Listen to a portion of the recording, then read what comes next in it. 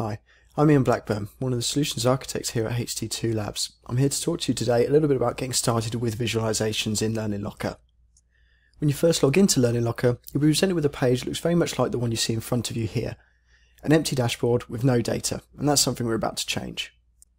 If you head over to the menu on the left hand side, you'll see the word visualize, click on that, and that's where we want to be to begin with visualizations. If we look up to the right hand uh, top corner, you'll see a button that says Add New.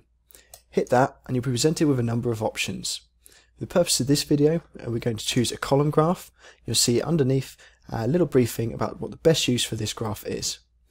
Hit the orange tick and you'll be presented um, with a blank sheet uh, to get started. The first thing we're going to do is give the graph a title, a label for the x-axis and a label for the y-axis. We're going to make this graph about the average score that a learner has got across any of the courses that they've taken that require a test or some sort of quiz at the end of it uh, once they've completed it. So we'll call it average score per person on our x-axis. We're then going to uh, call this person and on the y-axis this will be their score.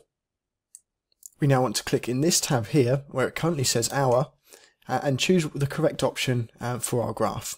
Of course, we can quite easily see here that person uh, is the most sensible choice, and currently, of course, there is no data, but we'll get to that. Next, of course, we're looking for the average, um, so the best thing to do is to actually choose uh, the correct um, label in here, which is average of, and then again, we need to click into this tab and look for a sensible option uh, that we're going to be grouping by. In this case, it's the raw results, which is normally where we store uh, information in the statements. Now that we've selected the right options, we're actually going to try and get some data into this graph. I'm going to change the range from the last seven days to the last year. And straight away we can see some data is now populated. You can see here, if we take a quick look, we have Andrea Saunders of an average of 40.43, Ben Chin 34.14, and so on. However, we're not finished yet. We're going to actually filter this graph down a little bit more uh, using some of the information we know uh, about the data that's held within Learning Locker. The first thing we're going to do is choose the store. This is the location where the statements are all being stored, um, possibly for a particular system uh, that's generating statements, or maybe all of the systems put together. Purpose of this, we've called it the sales demo, and this data is available on request from HT2 Labs if you need some data to replicate what we've done today, or simply for your own training.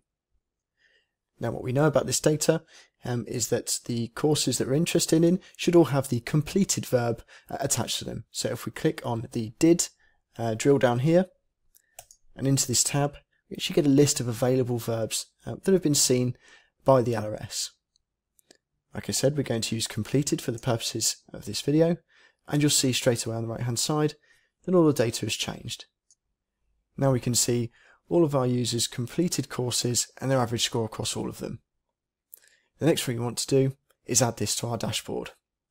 If you click back onto the dashboard menu item, we go back to the original page, we look for the little button here that says add widget. When you click on this, you'll be presented with a box like this. You see some orange lines in the left hand corner and the word settings. Click that. Let's give it a title. We can do give it the same title as the name of the graph.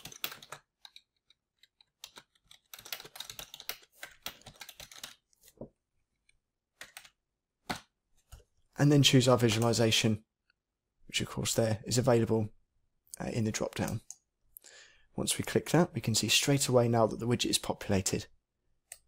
Hit the X in the right hand corner, and there we have it, our first visualization. And this can be dragged and dropped and placed anywhere on the screen. And we can keep adding visualizations on this as we start to build those up later on. That's all for this video. Thanks very much for watching.